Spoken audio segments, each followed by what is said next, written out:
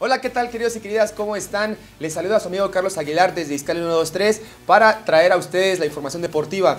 No se vayan, esto es Deportes 123. Comenzamos.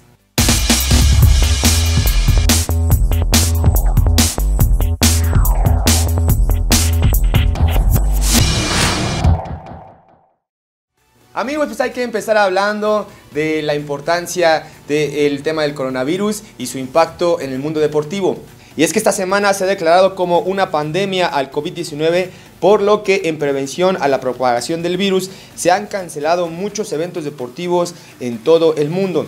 Tal es el caso de la suspensión del torneo italiano, así como de la liga española, la francesa y portuguesa, que se están jugando a puerta cerrada.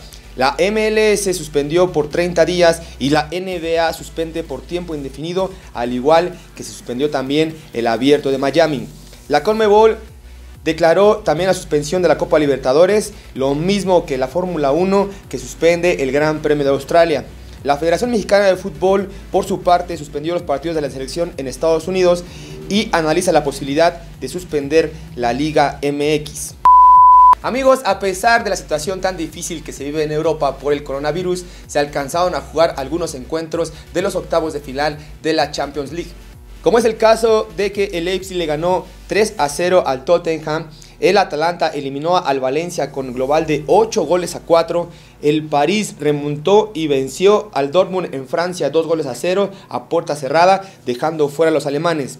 Pero la sorpresa de la semana la dio el Atlético del Cholo Simeone en Liverpool, en casa, que se fue al frente dos goles a cero y que todo parecía normal, pero Llorente al 97 mandó a la prórroga y de nuevo Llorente al 106 y Álvaro Morata al 120 pusieron cifras de cuatro goles a dos en el global y dejaron fuera del certamen a los ingleses. Y bueno amigos, y de este lado del charco se jugó la Liga de Campeones pero de la CONCACAF. Y ahí el Olimpia le ganó 2 a 1 al Montreal. Los Tigres rugieron en la Gran Manzana y le pegaron al New York City un gol a cero con tanto del chileno Edu Vargas. En el Azteca, el América recibió al Atlanta United y se conformó con la ventaja de tres goles a cero. Lo digo porque de no haberse encerrado el Piojo Herrera, hubieran podido meter hasta seis goles fácil. El partido del Cruz Azul y de Los Ángeles FC ha sido suspendido.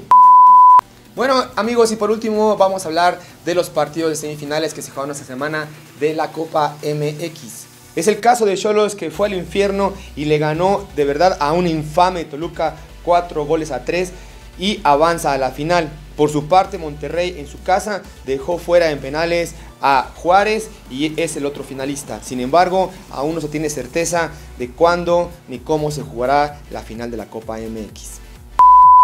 Amigos, esto ha sido todo por el día de hoy y no se olviden de seguirnos en nuestras redes sociales como arroba iscali123 en Facebook, Twitter, Instagram y YouTube y en nuestra página oficial www.iscali123.com.mx. Se despide de ustedes su amigo Carlos Aguilar.